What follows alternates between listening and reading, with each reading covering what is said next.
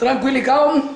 Se nós, eleitores, queremos mesmo renovação, nós precisamos mudar tudo, executivo, legislativo, e votar em pessoas que têm projetos, pessoas que têm idoneidade, pessoas que vão nos representar de fato. Mas mais do que isso, nós precisamos de pessoas que vão mudar as atuais práticas políticas. Essa do toma lá da cá, político só se beneficiando do cargo e não representando o povo, nós não queremos mais. Esse tipo de político não nos representa mais. E é através do nosso voto que nós vamos conseguir mudar esta situação, seja na Câmara Municipal, trocando a maioria dos vereadores ou todos os vereadores, e seja no Executivo, elegendo pessoas novas com uma mentalidade nova para fazer a diferença em seu favor.